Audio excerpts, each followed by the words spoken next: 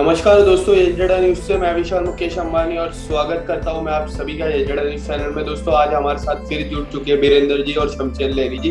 पहले तो बहुत बहुत स्वागत है आप दोनों का एजेडा न्यूज़ चैनल में और लगातार हम जिस तरह से इंटरव्यू ले रहे हैं, लगातार आपके बहुत अच्छे अच्छे गाने आ रहे हैं। तो क्या कहना चाहेंगे? एक और गाना आया है टिप्स म्यूज़िक के साथ। तो क्या कहना चाहेंगे सर? नमस्कार जी, और सबसे पहले आपके माध्यम से जो भी दोस्त देख रहे हैं, सबको हम दोनों भाई तरफ़ से बहुत सारा प्यार नमस्कार। बड़ी खुशी होती है जब आप लोग सभी दर्शक बड़ा प्यार देते हैं, हमारी कोशिश को बड़ा अच्छा लगता आपका नया गाना आया है उसके बारे में क्या कहना चाहोगे शमशेर लहरी जी? जी हम अपनी तरफ़ से आ, आ, अच्छी चीज़ आप सभी दर्शकों की कचहरी में लेके आते हैं। पूरी टीम की बड़ी मेहनत होती है और हम सभी से उम्मीद करते हैं भी आप ज़्यादा से ज़्यादा गाने को सुनो क्योंकि हमारे सारे ही गाने इस तरह के होते हैं जो समाज को परिवार को और मतलब एक यूनिवर्सल ट्रूथ से रूबरू करवाते हैं। मैं जब लास्ट टाइम जब देख रहा था तो गाने को छह lakh eighty six thousand four hundred and thirteen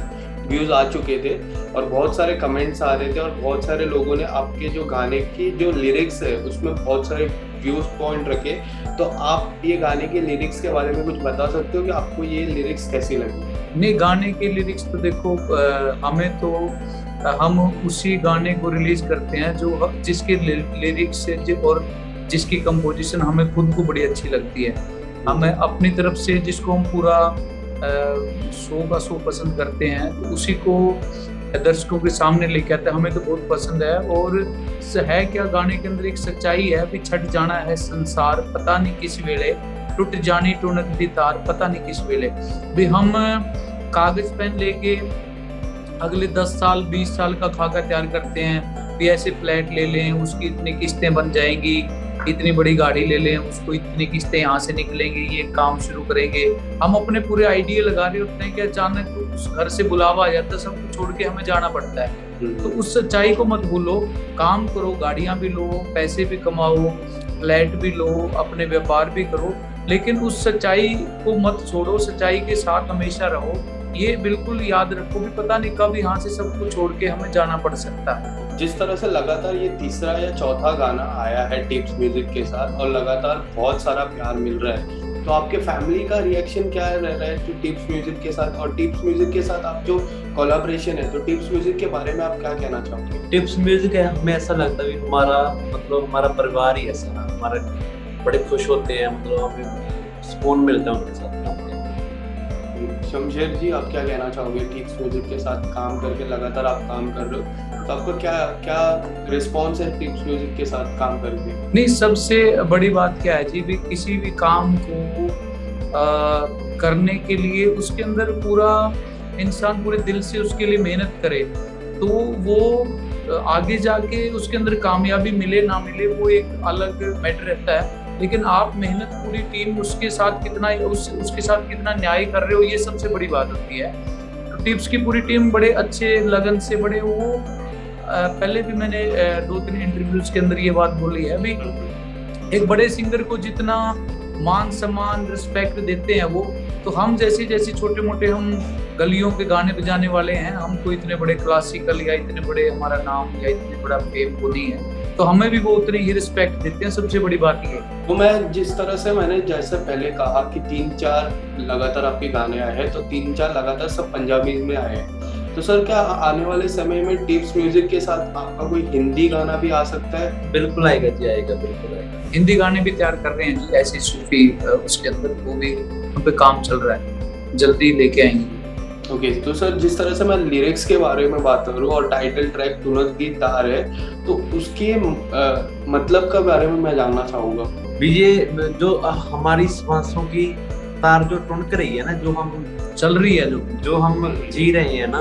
मालिक के घर से हमें श्वास रूपी पूंजी मिली है हमारे सांस चल रहे हैं। इस सांसों की तार का पता नहीं कब टूटना बंद हो जाए कब ये टूट जाए तार। हम्म। तो तार टूटने से पहले पहले मतलब मालिक की बंदगी कर लें तो अच्छे कर्म कर लें समाज के काम आ सके। ये बात है कि भजन बंदगी नाम साईं दा जबी ज़रूर प्यारे कि यही सब की बचते तेरी टूटते जब सारी जब सारी दुनिया जब हम इस दुनिया को छोड़ के जाते हैं तो यहाँ के घर बार मकान गाड़ियाँ दोस्त मित्र रिश्तेदार सब यही रह, रह जाते हैं। तो उस टाइम जो साथ देता है आपका वो मालिक का नाम ही है तो हम बॉलीवुड में जिस तरह से देखते हैं कि दो जो कपल रहते हैं जैसे आप हो शमशेर जी और वीरेंद्र जी दो कपल हो जैसे बहुत सारे बॉलीवुड में बहुत सारे ऐसे दो सिंगर्स ड्यूएट सिंगर्स रहते हैं और वो बहुत हिट होते हैं तो आप दोनों से मैं जानना चाहूँगा कि आप एक एक लाइन एक दूसरे के बारे में बोले। पहले शमशेर जी से जानना चाहूँगा फिर वीरेंद्र जी आपसे जानना चाहूँगा।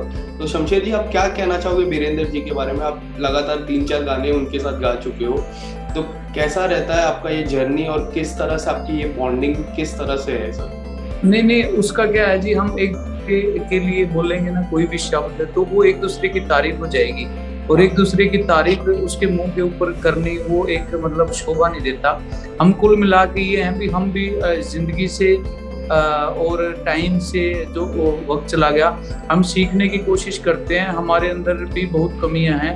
हम मतलब अपनी कमियाँ तो बता सकते हैं और अच्छाइयाँ नहीं बता सकते, क्योंकि अच्छाई हमारे अंदर कुछ ऐसी नहीं है। कमियाँ ही कभी हैं उनको दूर करने की कोशिश चल रही है। मालिक की कृपा से, आप सब लोगों की दुआओं से एक अच्छा इंसान बन सके, वो हमारी भी कोशिश है। मालिक की कृपा ही है, उसने इकट्ठा कर रखे है ना, उसने मिला रखे है। और ख्याल मिलते हैं तो फिर ही कोई इंसान दो इंसान एक साथ रह सकते हैं ना?